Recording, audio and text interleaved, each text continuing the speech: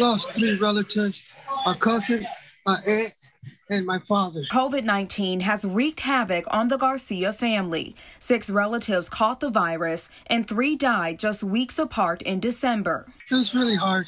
A difficult time for the family, not just emotionally, but also financially. They had no insurance. No insurance, yeah. And being that it was so sudden Yeah. um, and unexpected, um, and it just hit the whole family. They scraped together the funds to say a final farewell to their loved ones, but are still struggling today. Maybe about $5,000, and that was only to cremate and show the body for like four hours. The Federal Emergency Management Agency hoping to help families like the Garcias, offering up to $9,000 for COVID related funeral expenses they incurred after January 20th of last year. It will be very helpful to those families that have been going through a great deal of, of grief and suffering um, due to their loved ones passing. In order to qualify, families will need to provide some important documents. They're going to need to make sure that they have the social security numbers both for the applicant and the deceased.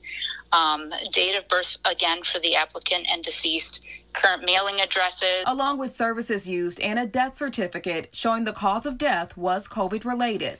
FEMA will not accept online applications. It will instead provide a direct line for families to call to start the application process. The agency will begin to implement COVID 19 funeral assistance next month. I'm Jamie Sherrod, WNEM TV 5.